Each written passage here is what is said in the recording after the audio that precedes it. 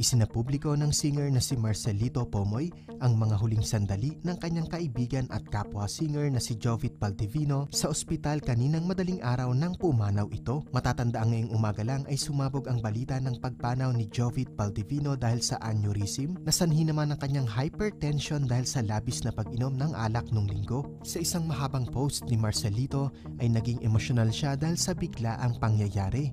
Ayon sa kanya, Parekoy, 3.33am this morning pinipilit ka pa naming kausapin at kisingin baka magmilagro pa. Sobrang sakit mawala ng isang kaibigan. Ikaw yung taong unang sumuporta sa laban ko sa PGT. Pahinga ka na.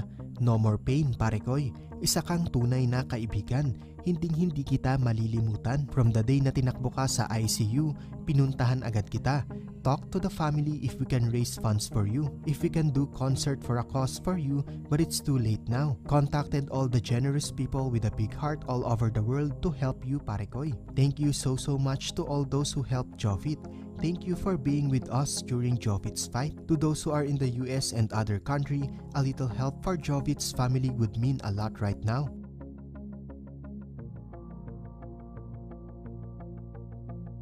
Ay naman sa pamilya ni Jovit Baldivino, dumalo sa isang birthday party nung linggo ang singer. Pinagbawalan na daw siya ng doktor noon na uminom ng alak at kumanta muna ng mga biritan dahil nga ginagamot pa ang hypertension niya. Pero hindi napigilan ni Jovit ang chant ng crowd na kumanta siya. Kumanta siya ng tatlong kanta pero sa ikatlong kanta ay naghingalo na daw ito at makalipas ang isang oras ay doon na nga ito nawalan ng malay at tuluyang sinugod sa ospital. Sobrang nakakalungkot talaga ang biglaang pangyayari pero ayon sa ilang netizens at least ay at peace na siya ngayon at hindi na muling maghihirap pa.